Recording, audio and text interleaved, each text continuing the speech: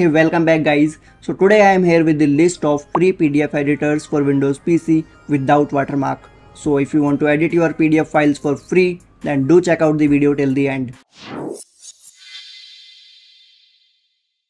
First one in our trolley is PDF Gear.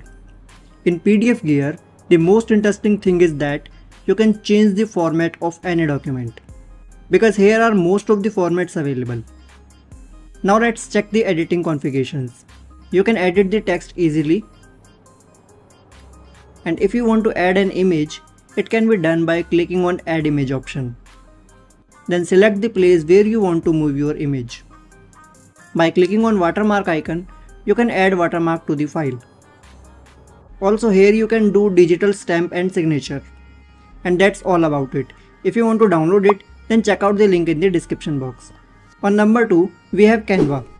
Canva is known for its name. In Elements section, here are some graphics, stickers, lines and shapes. By clicking on text icon, you can add or modify existing text. And in the drawing portion, you can highlight the area which you want. Guys, the tool is online and you don't need to download it. Just check out the link in the description box. Last one in our list is Sejda PDF Editor. Sejda is also an online PDF editor and the UI is also quite good. Its features are also easy to take in use. You may no need any tutorial for using it. Let's have an eye on its editing. You can write out the text and you can also edit existing text just like other editors. And the digital sign option is also available here. If you want to try it, then check out the link in the description box.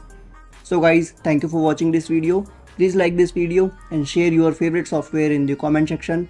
Also hit the red subscribe button with the notification bell icon to never miss any future updates from this channel. This is me Jitendra Singh signing off and I'll see you in the next one. Bye bye.